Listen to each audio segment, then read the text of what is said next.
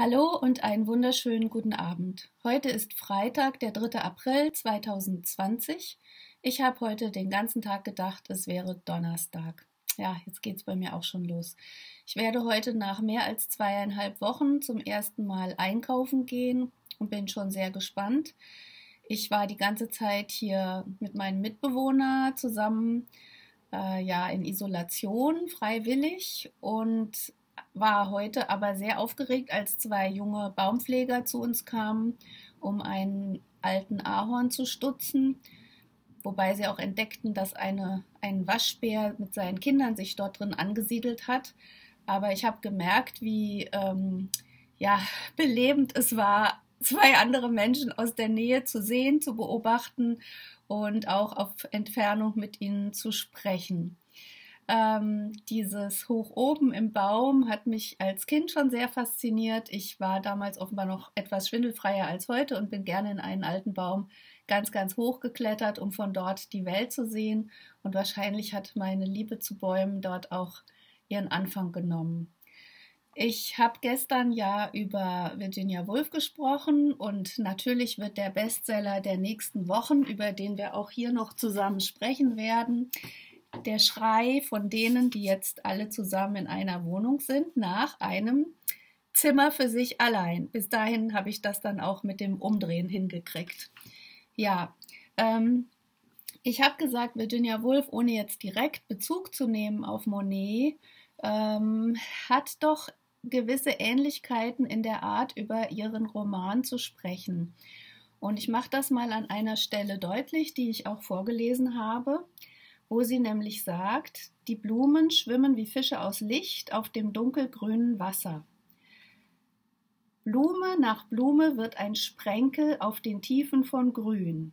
Also das heißt, sie malt eigentlich mit Worten ein Bild, das wir sehen. Blume um Blume wird ein Sprenkel aus Grün, genauso wie Monet gewissermaßen Striche, kleine, feine Striche setzt mit der Behauptung, dass es eben Seerosen sind. Ich finde das sehr interessant. Ich mache das hier nicht sehr ordentlich, sondern eher strukturell, also in freien Assoziationen. Das heißt, es ist kein verbürgter Zusammenhang zwischen Monet und Virginia Woolf, sondern ich sehe da Parallelen, ich sehe Dinge, die man darüber verstehen kann, dass man den einen mit dem anderen zusammendenkt. Ich habe nun aus dem hinteren Teil von den Wellen ähm, eine Passage mitgebracht und wollte noch kurz sagen, dass Virginia Woolf sehr stark sich mit dem Thema der Zeit auseinandersetzt. Und während am Anfang die Sätze der Kinder immer sehr kurz sind, also was Susan sagt, was Neville sagt, etc., werden die Passagen, die die Einzelnen sprechen, mit ihren wachsenden Lebensringen, mit ihrer Erfahrung, mit ihren Eindrücken, mit allem, was sie im sozialen Feld beobachten, immer länger. Und es ist am Ende dann auch einer, der spricht, der alles zusammenfasst, was er von den anderen auch weiß. Und es entsteht auch so etwas wie ein gemeinsamer Erinnerungsraum. Das ist etwas, was mich damals gar nicht so bewusst erreicht hat, womit ich mich aber später immer öfter beschäftigt habe, als ich gemerkt habe, dass ich selbst in meinen Romanen auch etwas versuche einzuholen, dass ich die Leserinnen und Leser Dinge erleben lasse, an die sie sich dann beim Lesen später gemeinsam mit den Figuren erinnern können. In Virginia Woolfs Roman heißt es auch am Ende wieder eine Reflexion auf das Geschichtenerzählen oder die Form des Geschichtenerzählens. Zugleich, um nun zusammenzufassen, sagte Bernard, um Ihnen nun den Sinn meines Lebens zu erklären, so können wir, die wir einander nicht kennen, ganz offen reden. Mich überkommt die Illusion, dass etwas für einen Augenblick Zusammenhang hat, Umfang, Gewicht, Volumen hat, voll rund wird. Das scheint für den Augenblick mein Leben zu sein. Ich finde das sehr wichtig, weil es gibt ja Menschen, die sagen, alles hat einen Zusammenhang.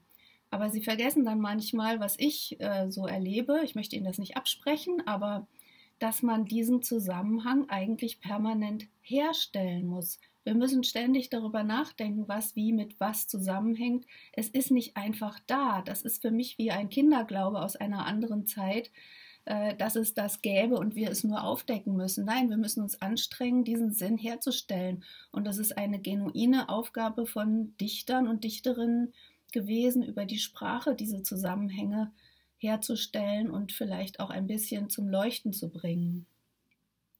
Das scheint für den Augenblick mein Leben zu sein. Wenn es möglich wäre, würde ich es Ihnen als ein Ganzes hinreichen. Ich würde es abpflücken, wie man eine Traube pflückt. Ich würde sagen, nehmen Sie, dies ist mein Leben. Sie kennen das vielleicht oder ihr kennt das vielleicht, wenn man eine Biografie schreiben soll und diese Biografie eigentlich immer neu erzählt, je nachdem, wofür man sie braucht, für welche Bewerbung, für welchen Job, für welchen Zusammenhang und in welcher Zeit.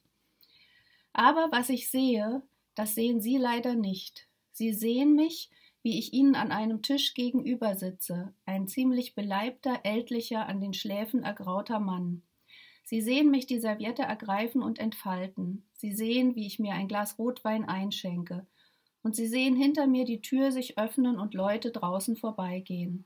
Aber um ihr Verständnis zu wecken, um ihnen mein Leben darzustellen, muss ich ihnen eine Geschichte erzählen. Und es gibt so viele, so unendlich viele, Geschichten aus der Kindheit, Geschichten aus der Schule, Geschichten von Liebe, Ehe, Tod und so weiter.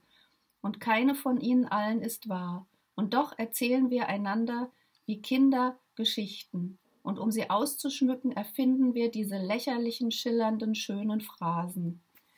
So, er macht sich darüber lustig, dass man da eben diese Phrasen benutzt und versucht, einen anderen Weg zu finden, diese Dinge zu erzählen. Das heißt, Virginia Woolf reflektiert hier am Ende auf ihr eigenes poetisches Vorgehen, das sie am Anfang aufspannt. Sie will die Welt anders erzählen als in vorgefassten Phrasen und deshalb zerlegt sie alles in diese kleinen, feinen Wahrnehmungen, von denen ich gestern gesprochen habe. Ich finde, das ist eine sehr schöne Übung, die man selber auch oft machen kann, denn nicht selten benutzen wir Klischees, wenn wir Dinge beschreiben und es nimmt unseren Geist in eine sehr produktive Haltung und Verfassung und macht uns auch Freude, wenn wir anfangen, einmal einen Baum genauer zu beschreiben. Ja, so viel für heute und bis bald. Tschüss!